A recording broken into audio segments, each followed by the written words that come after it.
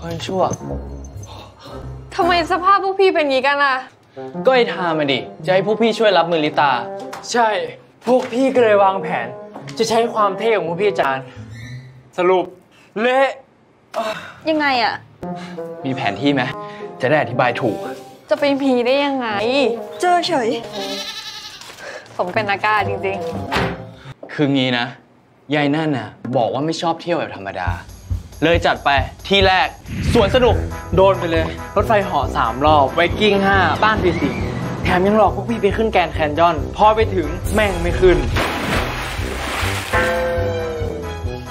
พี่ก็เลยคิดว่าเหนื่อยแล้ว บอกว่าอยากกินสตรีทฟู้ดจากสวนสนุกไปเยาวราช เท่านั้นไม่พออยากเดินปากคลอง พามาเดินปากคลอง แล้วก็มาจบที่เนี่ยโคตรบ้าพลังเลย